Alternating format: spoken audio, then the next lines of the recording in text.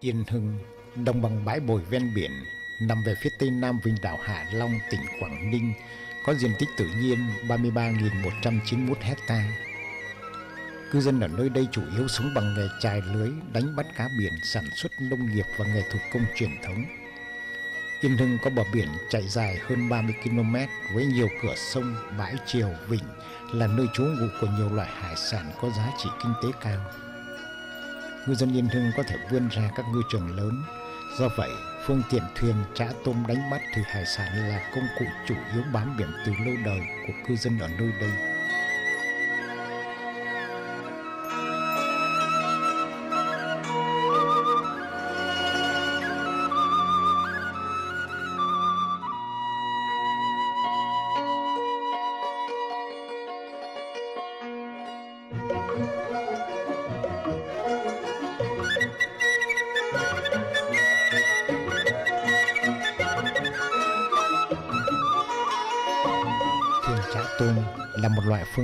Thuyền buồm đa năng chạy trên sông biển.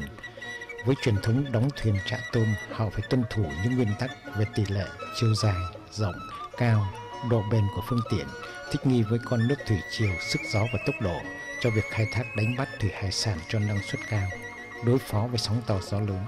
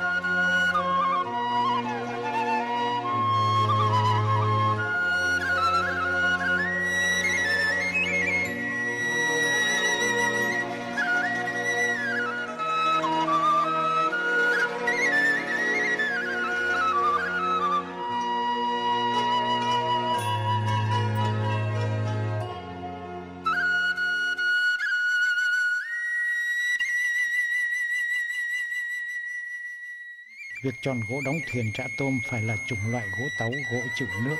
Chiều dài của thuyền trã tôm tùy thuộc vào yêu cầu khai thác hải thủy sản trên sông biển. Ván thuyền dày 3 phân, bản rộng 25 phân, lượn thuyền phải chọn gỗ thẳng, gỗ ghép mạn thuyền phải đao hình tàu chuối.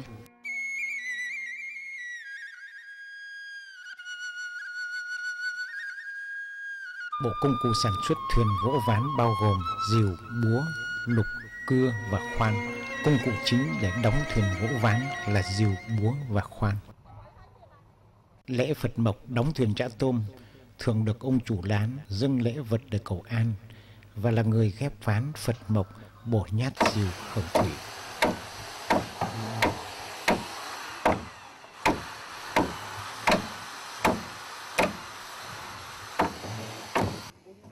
Đúng không? Chống chứ không, chống chứ. Ồ, cái phải trống bên đó. Mà nhìn là cái trống. Đây là cây ông quỷ đúng không?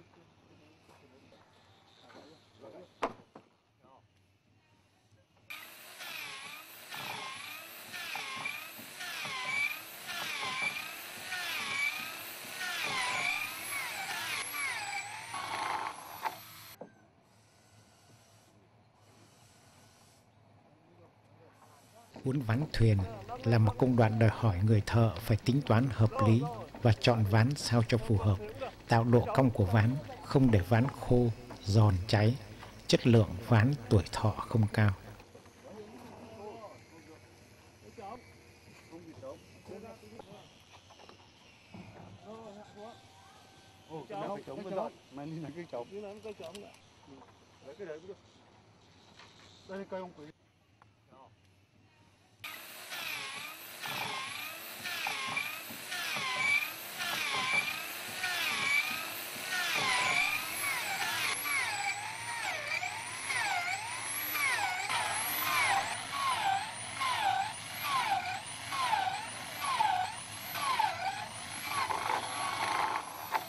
Cấu tạo thuyền trạ tôm gồm có lườn thuyền từ 3 đến 5 con ván, vách thuyền từ 2 đến 5 con ván, cong thuyền dày 6 phân, chiều cao 1 m 2.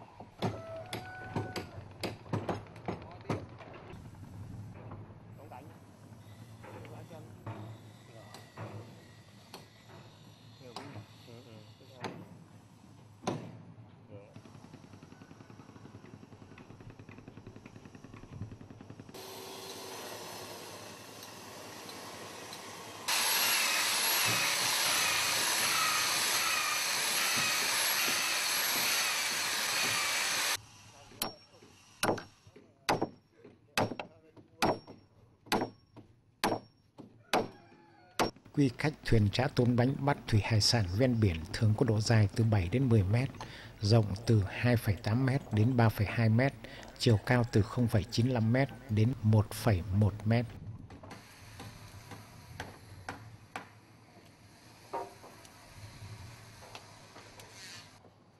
em cho nuôi những trên đây không nó quả ông cho cái cây này nuôi lên trên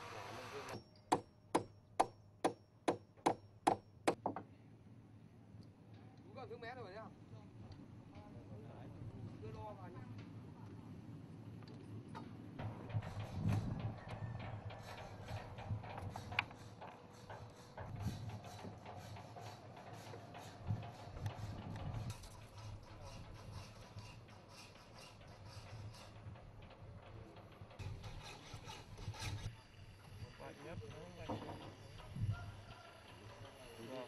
không có cá chân dài hơn bên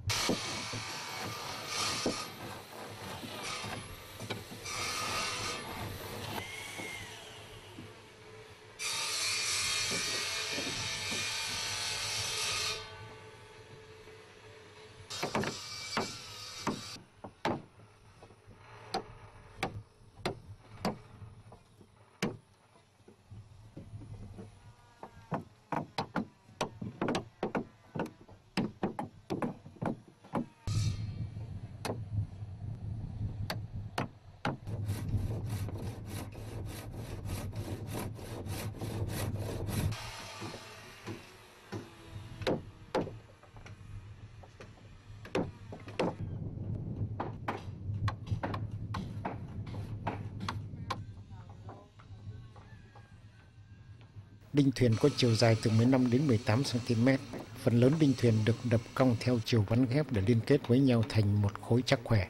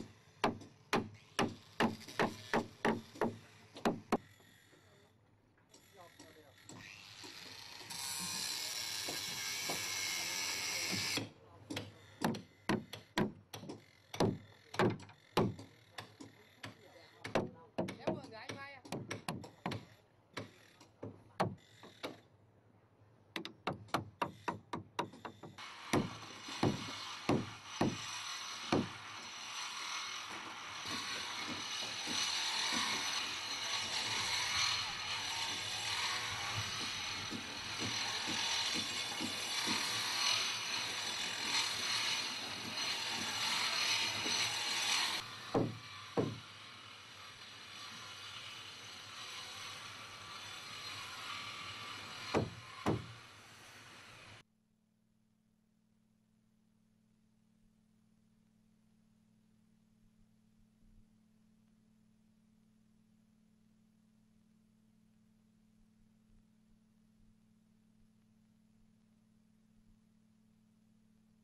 xưa là đi theo các ông các bố đi làm cái đóng con thuyền này Nhưng tôi đã đi làm thợ từ năm 17 ờ, tuổi.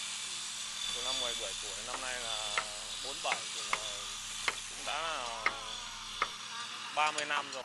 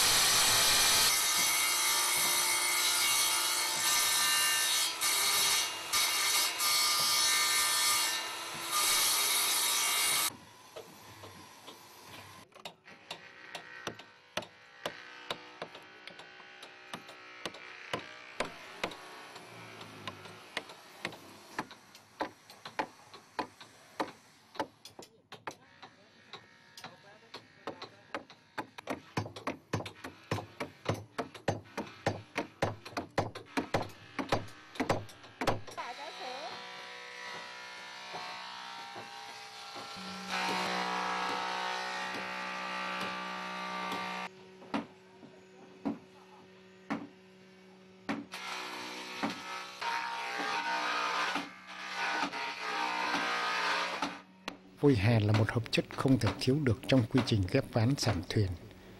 Vật liệu để chế ra vôi hè gồm có vôi bột, vôi xây dựng, dầu trầu, phoi tre, giã hoặc xay quèn để có độ kết dính. Phoi tre sảm thuyền được sử dụng cho việc sảm thuyền và được lấy ra từ vỏ và thân cây tre rừng.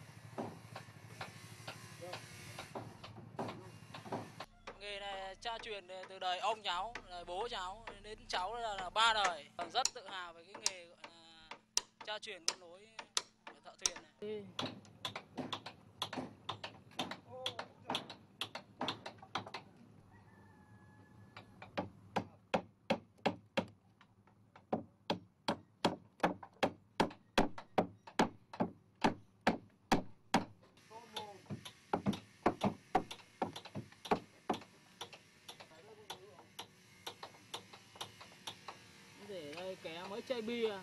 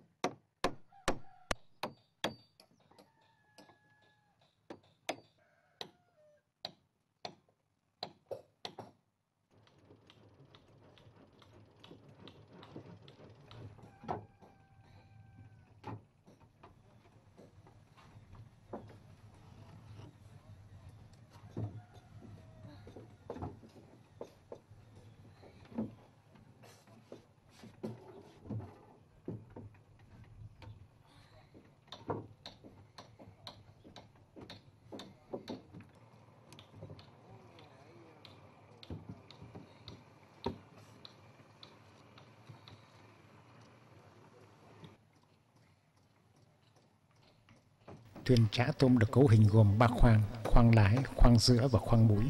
Mỗi khoang có một vị trí khác nhau. Khoang lái là để tay lái thuyền và bếp nấu ăn. Khoang giữa là khoang để nghỉ ngơi. Khoang mũi là quầy văng để sống cá tôm và để ngư cụ. Buồm thuyền trã tôm gồm có buồm lái và buồm mũi, vải buồm trọn, vải diềm bâu, bền chắc. Quy trình nhuộm buồm gồm có hai giai đoạn – ngâm vải buồm với nước củ nâu, nhuộm nước vỏ cây đương rừng ngập mặn và được phơi nắng nhiều ngày tạo cho vải bền chắc, có màu nâu chống mốc vải. Thép buồm chậm che rừng thẳng, không cong queo, che đủ độ già. Mỗi cánh buồm được phân khoảng từ 5 đến 7 hoặc 9 thép buồm.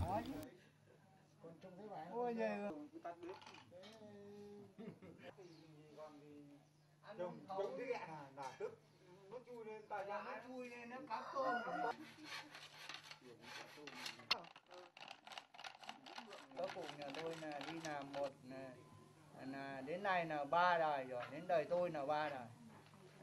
Ờ, sáu bảy đứa cháu cả giai vùng rẻ là đi làm nghề biển hết. À, đi đánh bắt thủ công bằng thuyền buồm này tính nước nào đẹp thì chỗ nào đẹp đấy, thì mình tính nước và không có máy móc thì chỉ còn giản lấy nay núi, chạy ngược, chạy xuôi, chạy vát, chạy xía thế này. Chạy vát như chẳng hạn như con sông nó dài thế này thì là vát bên đây mà nhát này, vát bên đây nhát, đổ mùi.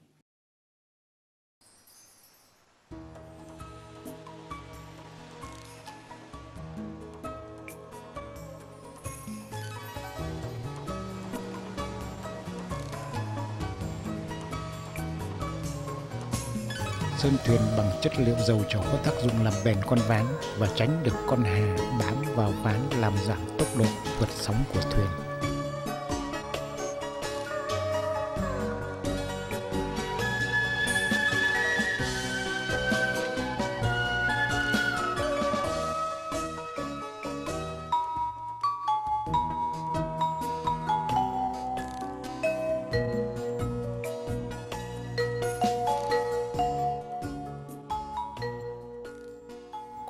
Gồm có cột khoang lồng và cột mũi.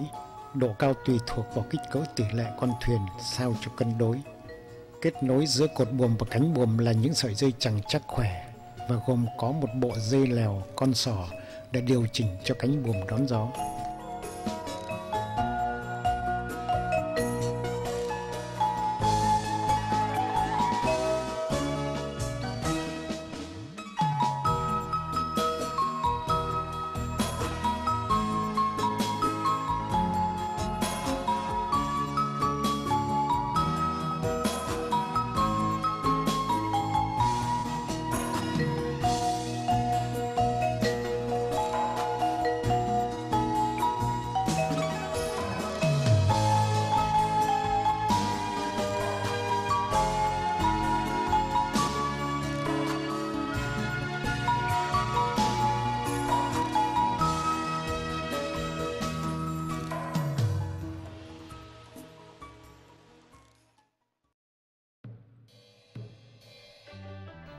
Lễ hạ thủy bao gồm hương hoa lễ vật với nhiều hải sản quý hiếm của biển là để bái tạ thần linh thủy thần chứng giám, cầu cho con thuyền trở về với sông nước biển khơi, vượt qua sông dài biển rộng.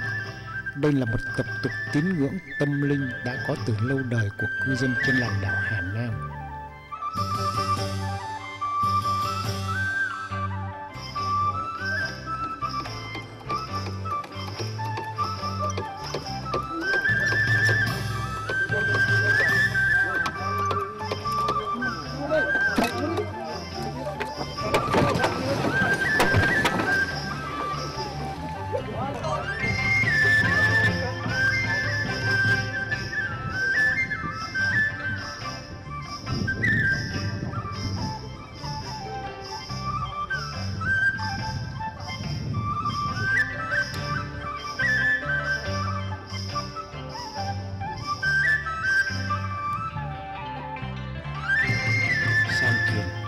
dụng chặn con nước ngược của thủy triều trong điều kiện thuyền chạy ngược dòng chảy để thả lưới đánh bắt thủy sản. San thuyền cao 2 mét, rộng 0,55 mét được cấu tạo trên khoang mũi.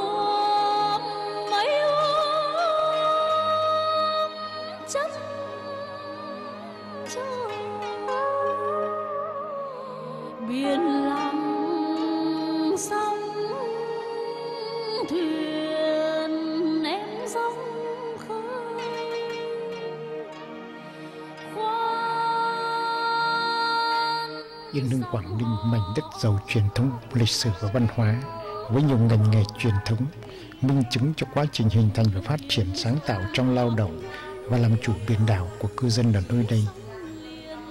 Cánh buồm nâu mãi mãi còn ghi đậm trong tâm thức của các thế hệ người dân trên làng đảo Hà Nam Yên Hưng Quảng Ninh hôm nay.